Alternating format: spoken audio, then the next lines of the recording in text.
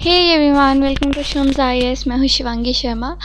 And hey I am with chapter first of class twelfth economics which is micro economics so the first chapter is introduction so introduction हम करते हैं, ठीक है? So introduction is basically हम समझ जाएँगे कि बेसिक कॉन्सेप्ट क्या है माइक्रो और माइक्रो माइक्रो इकोनॉमिक्स का, ठीक है? सो माइक्रो इकोनॉमिक्स हम लास्ट क्लास में अच्छे से डिस्कस कर चुके हैं। सो uh, for a for just for a recap what was microeconomics? Microeconomics was the study in which we study the economic issues in an individual level right? Level of an individual person. But in case of macroeconomics we do the same but not in individual level in a whole. We study the same thing in a whole okay? So here we'll study the economic problems in global level ठीक है not on individual level ठीक है? सो yes, this book will be introduced to some of the basic principles of macroeconomic analysis. Macroeconomic analysis पढ़ने वाले हैं हम, कैसे हम ग्लो ग्लोबल लेवल पे एनालिसिस करने वाले हैं मैक्रो इकोनॉमिक्स का। उसके अलावा, जो भी प्रिंसिपल्स हैं मैक्रो इकोनॉमिक्स के, और मतलब हम बेसिकली जो भी एलिमेंट्री अलजेब्रा है, जो भी इसमें यूज़ होता है, वो सब, वो सबसे हम इंट्रोड्यूस होने वाले हैं, ठीक है? Uh, if we observe the economy of the country as a whole, it will appear at the output levels of all goods and services that economy have tendency to move together.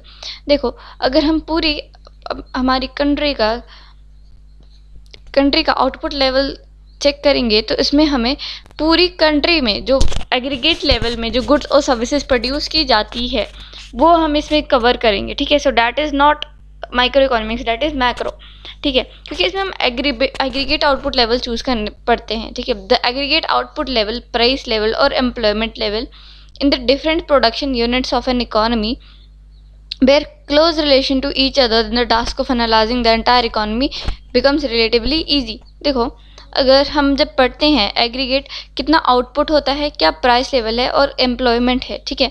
जब हम इन सारी चीज़ों को मतलब हमारी economy में aggregate करके पढ़ते हैं, देखो बेसिकली मैक्रो इकोनॉमिक्स एक ईजी वे है, क्योंकि हम इसमें पूरी कंट्री का, ठीक है, एक ही बारे में सारा एनालिसिस कर लेते हैं, हमें सब कुछ डाटा मिल जाता है, ठीक है, उसमें उसमें एम्प्लॉयड भी, उसमें क्या क्या होता है, उसमें होता है हमारा output level price level employment level देखो ये इसीलिए बिकॉज़ हमारा क्या एम्प्लॉय एम्प्लॉयमेंट कितना है कंट्री में, वो किसी इंडिविजुअल को तो नहीं, सिर्फ़ एक इंडिविजुअल के बेसिस पे थोड़ी ना होगा, वो तो पूरी कंट्री के बेसिस पे होगा ना।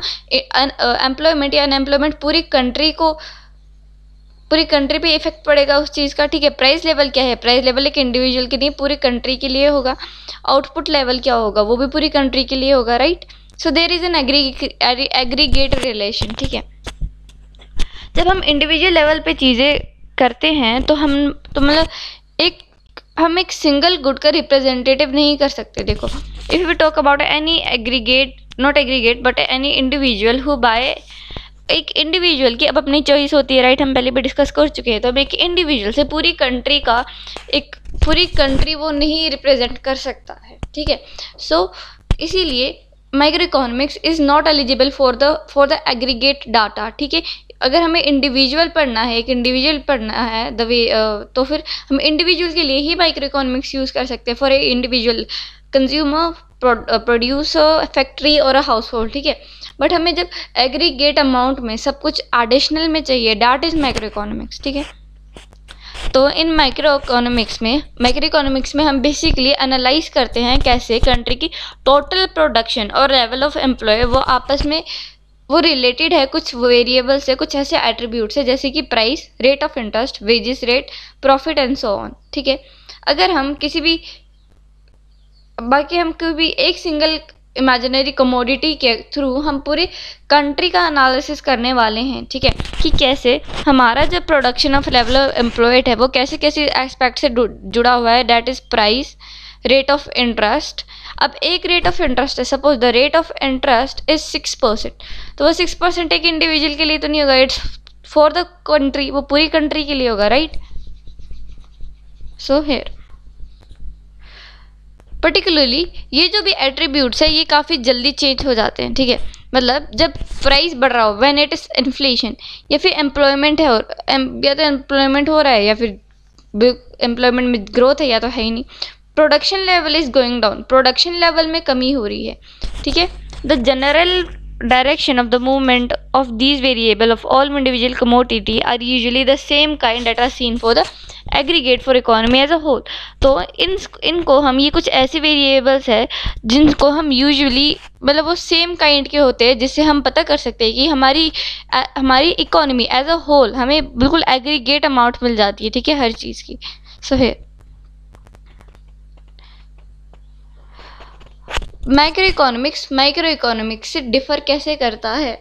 देखो, जैसे मैंने अभी आपको बताया micro economic studies the economic issues as a individual while micro economic studies the same thing as a whole ठीक है? उसके अलावा micro economics individual market market of demand और सप्लाई पे डिपेंडेंट होता है, जबकि माइक्रो इकोनॉमिक्स एग्रीगेट पे डिपेंड होता है, ठीक है? सिंगल किसी सिंगल पर्सन पे नहीं सिंगल पर्सन के सेटिस्फेक्शन पे नहीं। उसके अलावा उसके अलावा जो इकोनॉमिक एजेंट्स है माइक्रो इकोनॉमी और मैक्रो इकोनॉमी दोनों की इंडिविजुअल एजेंट्स भी अलग अलग होते हैं ठीक है? देखो बाय इकोनॉमिक यूनिट्स और economic agents we mean the individual और institutions which take economic decisions जो भी इकोनॉमिक डिसीजंस लेते हैं वो होते हैं हमारे इकोनॉमिक एजेंट्स ठीक है? सो so, इधर अगर हम देखें जो माइक्रो माइक्रो इकोनॉमिक है माइक जो माइक्रो इकोनॉमी है, उसमें जो इकोनॉमिक एजेंट्स होते हैं, वो इंडिविजुअल इकोनॉमिक एजेंट्स होते हैं। जबकि मैक्रो इकोनॉमिक्स में जो होते हैं, वो इंस्टीट्यूशनल इकोनॉमिक एजेंट्स होते हैं। इंस्टीट्यूशनल इकोनॉमिक एजेंट्स जैसे कि हमारे कुछ बैंक्स जैसे R B I SEBI T R A I T R A I मतलब telecom regulatory authority of India SEBI की फुल फॉर्म होती है। Security and exchange board R B I is reserve bank of India ये पूरी country के लिए ऊपर dependent होती है। सिर्फ़ पर्टिकुलर एक एक किसी भी एक पर्सन के ऊपर नहीं डिपेंडेंट होती, ठीक है? एडम स्मिथ जो कि मॉडर्न इकोनॉमिक्स के फाउंडर हैं, उन्होंने सजेस्ट किया था कि बायर और सेलर्स हर एक मार्केट में वो खुद डिसीज़न ले अपने सेल्फ इंटरेस्ट अपने सेल्फ इंटरेस्ट के थ्रू जिससे economics will not need to think about the wealth and welfare of the country as a whole separately देखो, अगर एडम स्मिथ का ये बोलना था कि हर एक इंडिविजुअल सेलर और बायर को मार्केट में अपने अकॉर्डिंग चीज़ें, अपनी सेल्फ इंटरेस्ट के अकॉर्डिंग चीज़ें खरीदने या बेचने दो। उससे हमें कंट्री के वेलफेयर को होल पूरी कंट्री के एग्रीगेट जो वेलफेयर होगा और वेल्थ होगी, वो अलग से नहीं स्टडी करना पड़ेगा। बट इकोनॉमिक्स ने कुछ ऐसे फाउंड कुछ ऐसे केसेस मिले कि कहीं कहीं तो मार्केट है ही नहीं। सेकेंडली कुछ जगह पे मार्केट एग्जिस्ट तो करते हैं बट वो इक्विलिब्रियम नहीं है। डिमांड और सप्लाई में इक्वालिटी नहीं है अलग अलग है ठीक है? Thirdly the large number of situation uh, situation society had decided to pursue certain important social goals unselfishly कुछ ऐसी जगह है जहाँ पे लोग अनसेल्फिशली अनसेल्फिशली काम करते हैं ठीक है? मतलब सोशल गोल्स के अकॉर्डिंग काम करते हैं। तो ऐसी जगहों पे मतलब वो जो है एग्रीगेट उसमें जो है माइक्रो इकोनॉमिक्स के डिसीज़न में हम एग्रीगेट इफ़ेक्ट में हमें मॉडिफाई करना पड़ेगा, ठीक है? इकोनॉमिक एजेंट्स को चेंज करना पड़ेगा, ठीक है? इसी इसी प्रॉब्लम में हमने जब, हमने ये चीज़ डिस्कस की कि हमें कुछ और भी चीज़ें चाहिए डिस्कस करनी है, जैसे बजट क्या है कंट्री का, ठीक है? बजट पॉलिसीज़ क्या क्या आती है? मनी सप्लाई में क्या क्या पॉलिसीज़ आती है? Rate of interest wages employment output ये सारी चीज़ें हम माइक्रो इकोनॉमिक्स में नहीं डिस्कस कर सकते हैं। इसीलिए माइक्रो इकोनॉमिक्स माइक्रो इकोनॉमिक्स एक डीप रूट बन करके आया, ठीक है? देखो suppose this is these are individuals ठीक है? These are any kind of individuals तो ये तो है, ये तो माइक्रो इकोनॉमिक्स है, ठीक है? बट जब ये तीनों मिलेंगे इसमें that is gonna be macro economy तो इन्हीं का सम इन्हीं का एग्रीगेट इज़ माइक्रो इकोनॉमिक्स ठीक है? तो माइक्रो इकोनॉमिक्स का तो माइक्रो इकोनॉमिक्स तो डीप है, ठीक है? मतलब बट हमें अगर एग्रीगेट स्टडी करनी है डिमांड और सप्लाई मार्केट में, इसलिए हमें मैक्रो इकोनॉमिक्स की ज़रूरत है। ठीक है? मैक्रो इकोनॉमिक्स ने दो सिंपल कैरेक्टरिस्टिक्स आए जो कि इन सिचुएशन से डील करने के लिए एविडेंट थे। सो वेरी फ़र्स्ट जो मैक्रो इकोनॉमिक्स है मैक्रो इकोनॉमिक्स के जो डिसीज़न मेकर्स हैं, वो वो ना स्टेट परस्यू करती है। स्टेट मतलब गवर्नमेंट परस्यू करती है बेसिकली जैसे आरबीआई और सीबी ठीक है? ये टिपिकल बॉडीज़ हैं जो कि पब्लिक गोल के ऊपर डिपेंडेंट पब्लिक गोल है, जिनकी जो मेन जो इनको चाहिए, जो इनका मेन गोल है that is services for others ठीक है तो इधर बिल्कुल भी वो नहीं है, ठीक है, कोई प्राइवेट प्रॉफिट या वेलफेयर नहीं है, ठीक है? सेकेंडली इन डिसीज़न मेकर्स करना क्या चाहते थे? ये बस जो भी इकोनॉमिक ऑब्जेक्टिव्स थे, इनके बियॉन्ड जाके, जो हमारे इकोनॉमिक रिसोर्स है specially in the public needs उनको डेवलपमेंट उनको उनको और ज़्यादा डेवलप करना चाहते थे, ठीक है?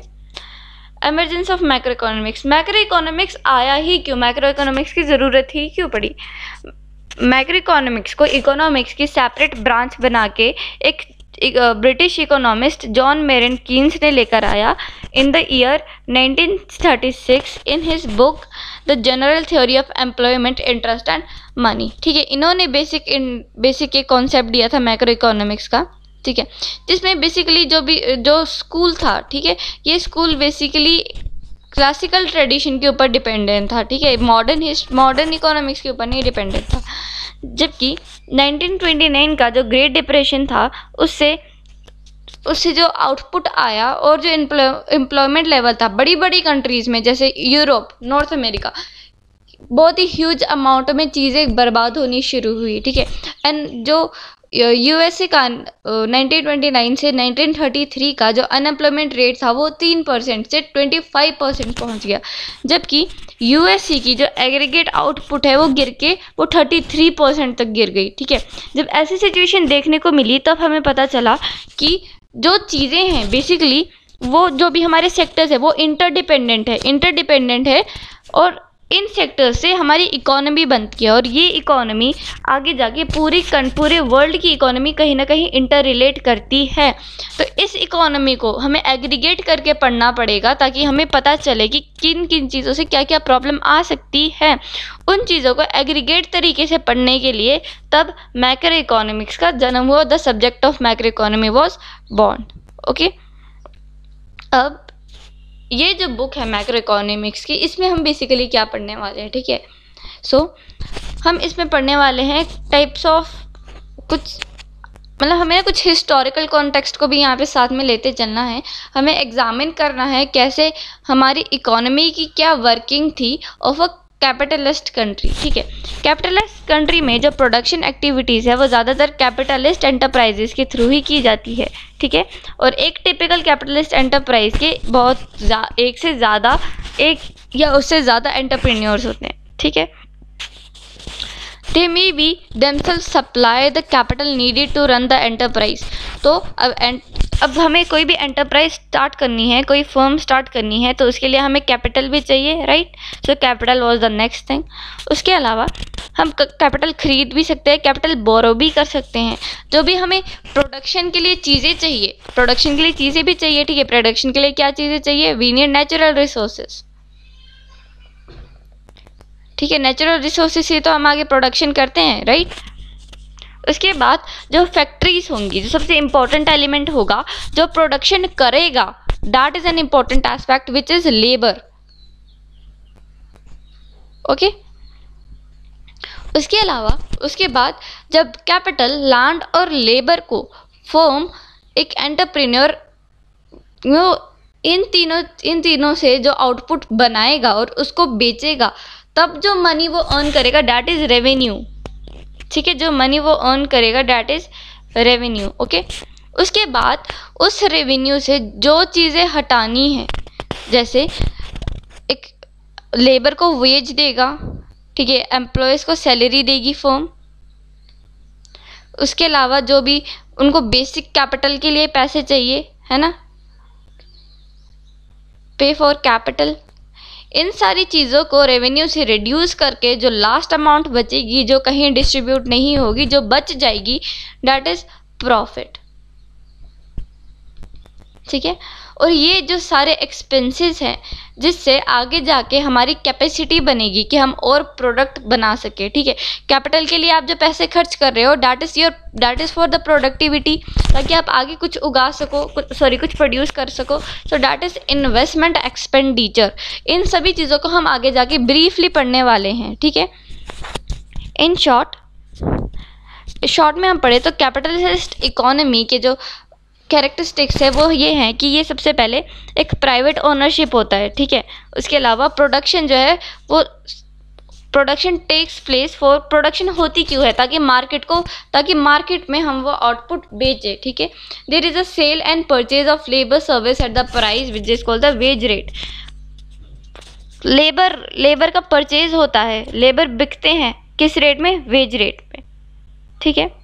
अगर हम इन अब चार क्राइटेरिया को मेंशन करें तो हमें पता चलेगा कि around last two four years पहले हमारी कंट्री मतलब तभी से धीरे धीरे धीरे धीरे कैपिटलिस्ट कंट्री बनती आ रही है, ठीक है?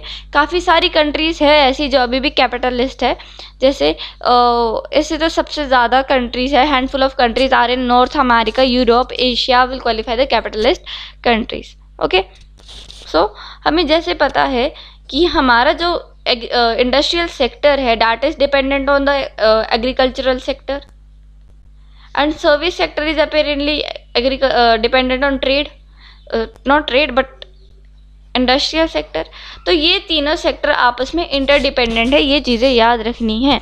देखो, कोई भी चीज़ का प्रोडक्शन ठीक है, कोई भी चीज़ का जो प्रोडक्शन करता है, वो कोई तो करेगा।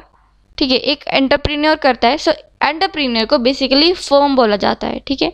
एक फर्म में बहुत सारे एंटरप्रीनियर होते हैं, जो कि सारे चीज़ों को स्टडी करके चीज़ प्रोड्यूस करते हैं और उसे बेचते हैं, ठीक है?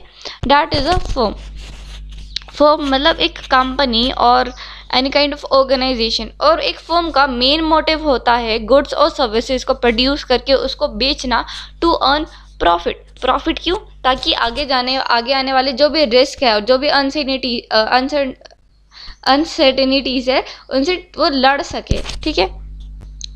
डेवलप कंट्री हो या डेवलपिंग कंट्री हो कैपिटल सेक्टर के अलावा एक इंपॉर्टेंट एक और इंपॉर्टेंट रोल है जो है स्टेट का एक institution of state so state को बेसिकली हम गवर्नमेंट के नाम से यूज़ करते हैं सो so, गवर्नमेंट भी एक इंपॉर्टेंट रोल प्ले करती है. फर्म और गवर्नमेंट के अलावा हमारे पास फर्म भी है हमारे पास गवर्नमेंट भी है और स, बट एक बहुत ही मेजर सेक्टर छूटता है। फर्म जो चीज़ प्रोड्यूस करेगी वो कंज्यूम कौन करेगा? हाउस होल्ड सेक्टर एक हाउस होल्ड सेक्टर ही तो चीज़ें कंज्यूम करेगा है ना? फर्म अगर चीज़ें प्रोड्यूस कर रही है ठीक है so we have firm government ठीक है फर्म चीज़ों को प्रोड्यूस करेगा। और गवर्नमेंट कहीं ना कहीं एक इंपॉर्टेंट रोल प्ले करेगा for for the economy for the firms as well ठीक है सब्सिडीज़ वगैरह गवर्नमेंट ही तो प्रोवाइड करेगा।